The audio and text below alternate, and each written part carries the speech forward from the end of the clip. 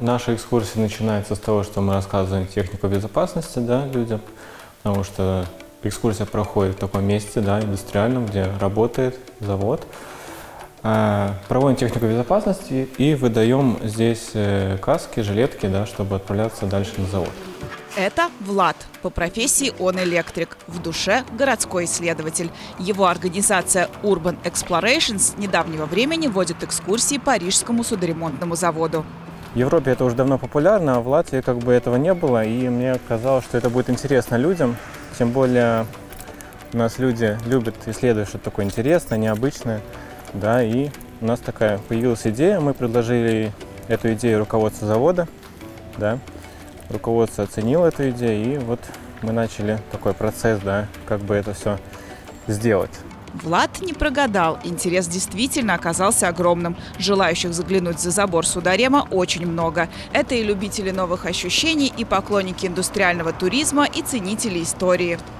Здесь у нас вот такая, такое здание, да, старинное, потому что и сам завод очень старый, ему больше ста лет уже. И это как раз здание, это первая администрация завода. Подробнее с историей завода можно ознакомиться в небольшом музее фотографий, куда мы и отправляемся.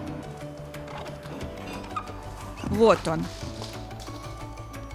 1913 году на улице Галас был основан судоремонтный завод.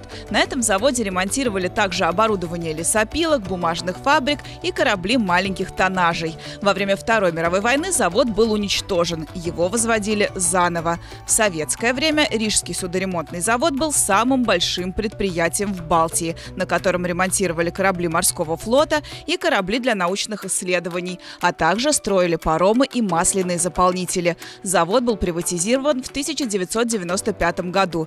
Многие экскурсанты интересуются, что здесь происходит сегодня. Он по-прежнему работает. Суда здесь, правда, не строят, но ремонт производится по сей день.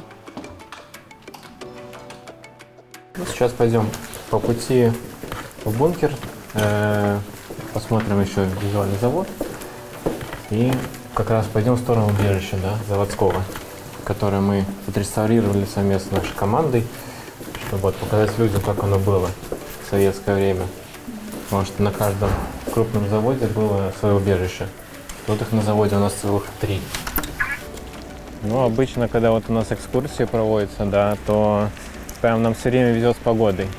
Сегодня у нас будний день, да, погода такая, дождливая. А когда вот экскурсия, может быть весь день дождь, но вот в перерыве два часа, когда экскурсия, все время вот солнце выглянет. Было, может... Ну, сегодня, да, вот в выходные дни все время нам везет как-то. Была, наверное, одна только экскурсия, когда был дождь. Ну и то мы это обыграли, как бы переждали дождь в бункере под землей и пошли гулять дальше потом. Так мы сейчас этим и займемся. Да, пойдем, пойдем прятаться от дождя.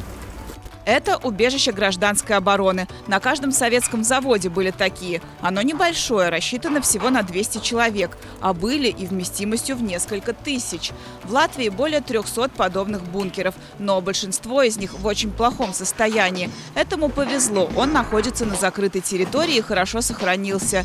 И то, в случае чего, здесь укрыться не получится. Конкретно этот я сказал бы, что он не до конца установлен. То есть фильтра есть, но нету к ним, э, скажем, что будет прокачивать воздух. Да, плюс герметичность желает лучшего, да, то есть не, не супер герметичное убежище. Вот, а если нужно переждать какой-то ядерный удар, да, то как бы не спасет. Влад собрал здесь большую коллекцию интересных и редких экспонатов, многие из которых до сих пор в рабочем состоянии. Это маска для того, чтобы погружаться под воду. Да. Здесь ставится такой э, фильтр, специальный РП-патрон, регенеративный, там химический порошок. Запуская реакцию, да, он вырабатывает кислород. И можно находиться даже вот в безвоздушной среде или под водой. Ну и такая же маска, только в ней уже под воду нельзя нырять. Это IP4, тоже патрон. Можно 2 часа, если находишься в таком в расслабленном состоянии, да, 2 часа дышать с таким патроном. Ну или 40 минут, если двигаешься, бегаешь, ходишь. Есть здесь и спальня, если можно так выразиться, и отдельная комната для вентиляционной системы. Ее экскурсанты особенно полюбили. Как раз для наших гостей, кто приходит на экскурсию, мы такой даем шанс да, покрутить вот этот вентилятор достаточно интересная штука, да, то есть это турбинка прокачивает воздух, чтобы в бункере был свежий воздух, да, ну, вентиляция обычная. Сейчас уже современные, они более компактные вентиляторы, да, а вот в советское время были такие, да, и каждому, кто приходит, мы даем шанс покрутить. Такая достаточно тяжелая